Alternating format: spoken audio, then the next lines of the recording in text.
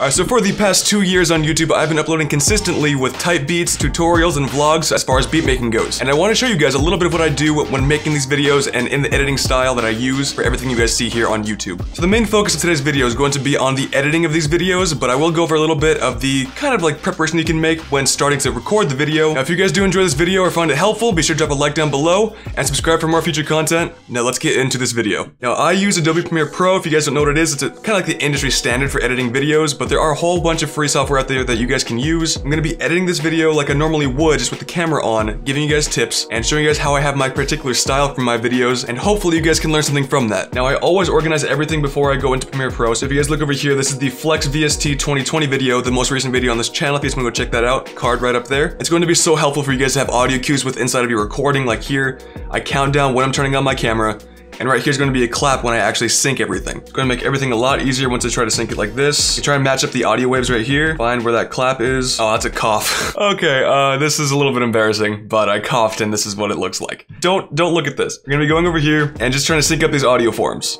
So around like right there. And then get rid of this one since it's not the professional microphone. Alright, so just a little over a year ago, ImageLine released the Flex VST to FL Studio 20. That's not a bad take. Alright, so we're gonna go over here, and that's going to be my intro. Alright, so now I'm just gonna be cutting that right there.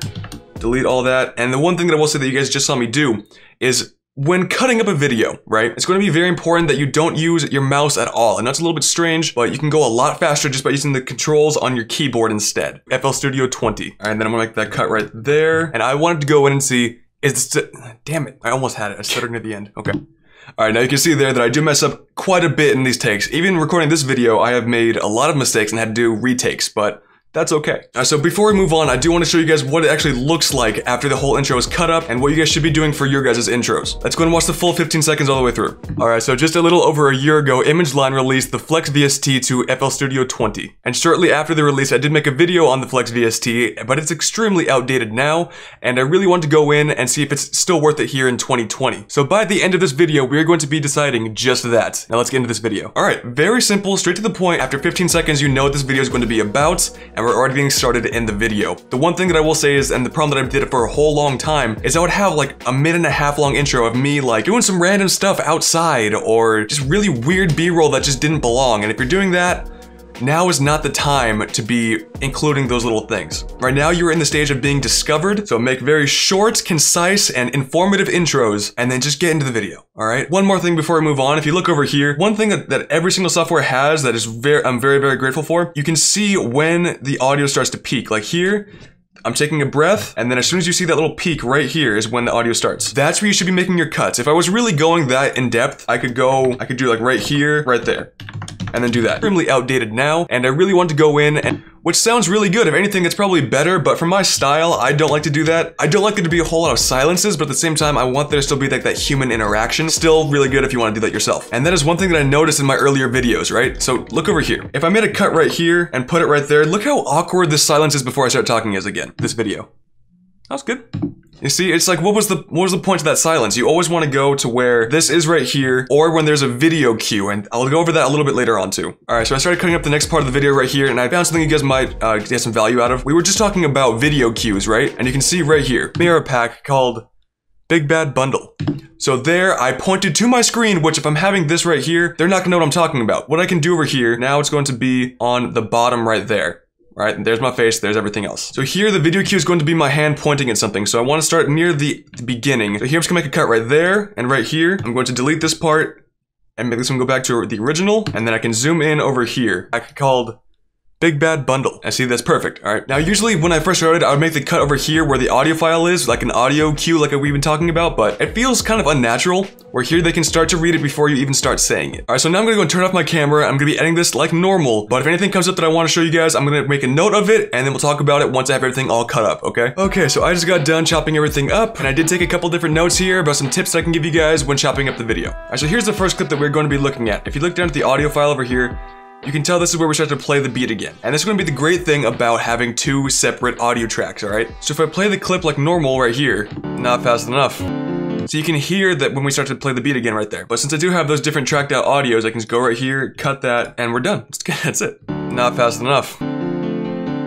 And that just flows a little bit more seamlessly through. And having your microphone separated from your desktop audio is gonna have multiple benefits, all right? Now, I use Streamlabs OBS to capture all of my video and audio. So in there, they make it very easy to separate those tracks. It's also a free service if you guys wanna go check that out. All right, now here's the next clip that we're gonna be looking at. Find some sort of layer for that. No, I grabbed, I grabbed Keyscape. I'm an idiot. it's just a habit, man. I always grab Keyscape or Omnisphere. A one-trick pony. All right, so all this right here is just fluff. It has nothing to do with the video that we're talking about. You might think like a lot of your favorite YouTubers do this sort of thing, and I love doing it too. I love putting in those like imperfections, but here is the cold, hard truth, and that's gonna be that nobody cares about you yet. Nobody cares about me yet. So this little fluff, this little gag that I just did, can actually make people click off of the video. So all I'm gonna do is hit Shift Delete, and it is no longer in the video. Now the next tip is going to be right here, all right? So I'm gonna play both of these parts right here, and you're gonna see that they blend seamlessly together.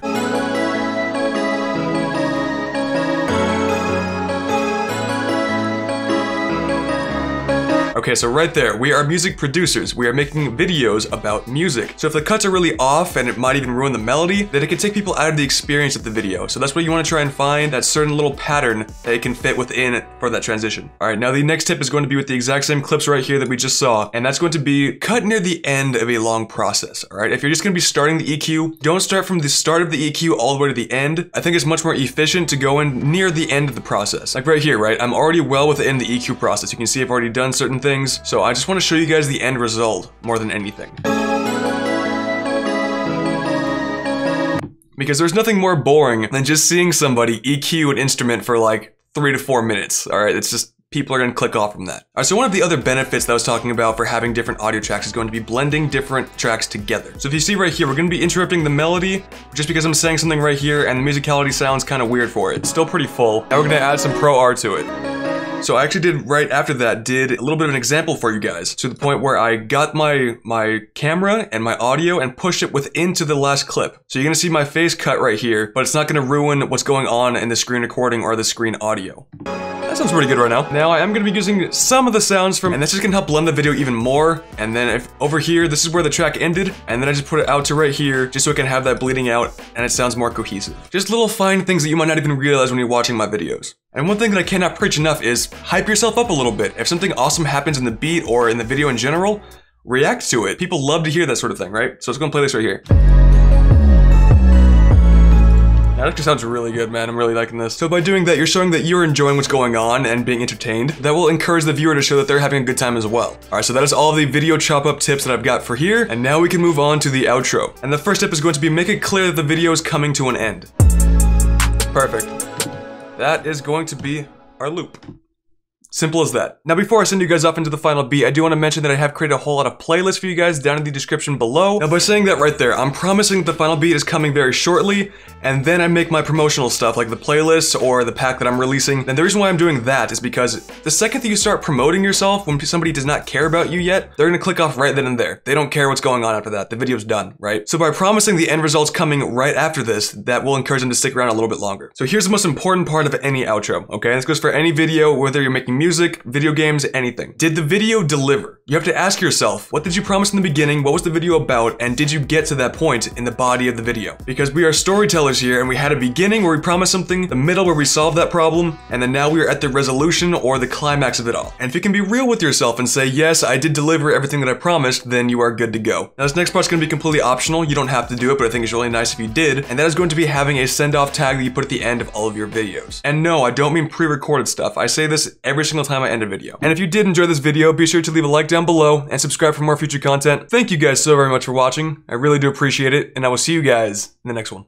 Peace. Something very simple like that. A call to action to subscribe and like the video is always appreciated, and then saying that you're gonna see them in the next video, hoping that they stick around. Just little things like that, really nice. So those are all the tips that I've got as far as the arrangement of the video. Now the next thing I wanna talk about is making it a little bit more professional. And like we've been saying all video, another benefit to having separate audio tracks over here is now I can go into my dialogue and put some compression, limiting, and EQ on there without ruining any of the actual music. And I have my own preset right here that I can just put onto anything, and all it has right here is a compressor, which I like to put down to around like 14.4 is usually pretty good, with a ratio of 2, and then 0 makeup. Done, and then that's gonna be paired with this right here, which is a hard limiter, which I have set to minus 12. Now generally when you're doing this sort of thing, I do recommend that you go back and listen to your track before you do anything else, but I've done this so many different times. I know I can just hit copy and paste it to everything else and it'll sound great. And yes, I know that I should be EQing everything too, but that's just, I didn't, I didn't want to do it. now this next part is going to be only for Premiere Pro users. I don't know if there's any other way to do it on any other software, but if you are on Premiere Pro, this tool saves my life every single video that I make. I'm gonna highlight every single clip right here,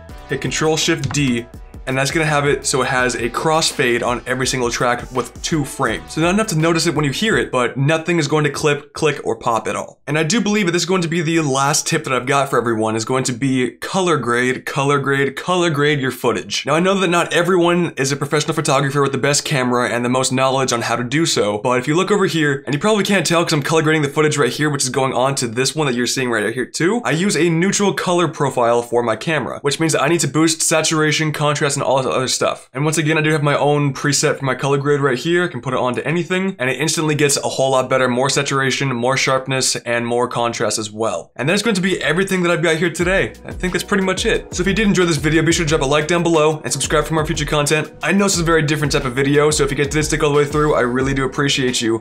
And I'll see you guys in the next one. Peace.